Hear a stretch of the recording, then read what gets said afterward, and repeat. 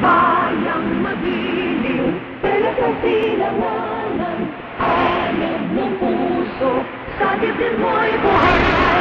Lupang hinirang, lumalang makikin, Nanlulupig, di ka pasisiin, Sa dagat at bundok, sa siwaya, sa langit kong baga, May dinagang tula at awit sa pagnayang ninanahal, Ang islak ng lakas, mo'y tagumpay na namiming, Ang bituin at araw, di kailan pa may di magdidilim, Lupa ng araw ng araw,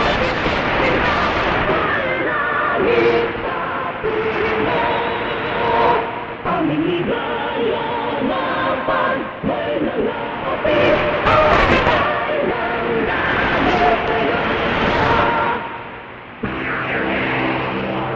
Suma sa inyo ang pagsasahig patawid ng Philippine Broadcasting Service Radyo Pilipinas Overseas Philippine Service mula 1730 hanggang 1930 UTC sa mga Pilipinas.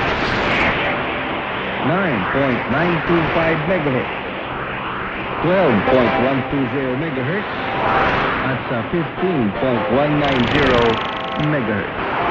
Radyo Pilipinas, Filipino Service, sa balita, informasyon at sirang paglilingkod. Serbisyo sa Pinoy, serbisyo para sa Pinoy.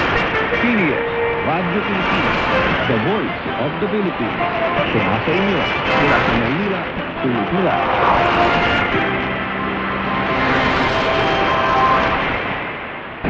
Ang bawat barangay ay mayroong DIRT o Barangay Health Emergency Response Team. Ano ang kanilang gampanin at kailan sila dapat na? Ang Barangay Health Emergency Response Team o BERT ang nakaalalay sa mga taong may malubhang sintomas ng COVID-19 tulad ng hirap sa paghinga para madala ang pasyente sa pinakamalapit na ospital. Ang BERT din ay in charge sa daily monitoring ng taong may sintomas ng COVID-19. Tumutulong din ang BERT sa mga taong kailangan ng medical attention kahit wala itong kinalaman sa COVID-19. Lalo na kung ang pasyente ay kailangan dalhin sa ospital. Together, let's fight the spread of COVID-19.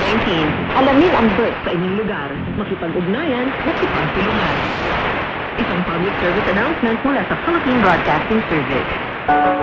Para sa mga lugar sa bansa na nasa ilalim na ng Modified General Community Quarantine o MGCQ, mas maraming mga opisina at tanggapan ang pwede nang magbukas at operate sa full capacity.